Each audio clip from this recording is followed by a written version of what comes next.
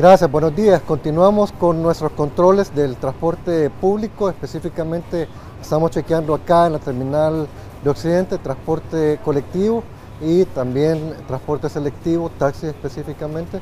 Estamos viendo, ya ahora que estamos volviendo ya actividades regulares, a que mm, nuevamente estén cobrando la tarifa que corresponde, que están dando el servicio de forma, de forma regular, que esté completamente documentada eh, la persona que, está manejando, pero también en esta ocasión también estamos realizando un control antidoping acá para garantizar que ahora que estamos volviendo nuevamente a la, actividad económica normal, las personas que estén manejando eh, no estén bajo la influencia del alcohol ni de otras sustancias tóxicas.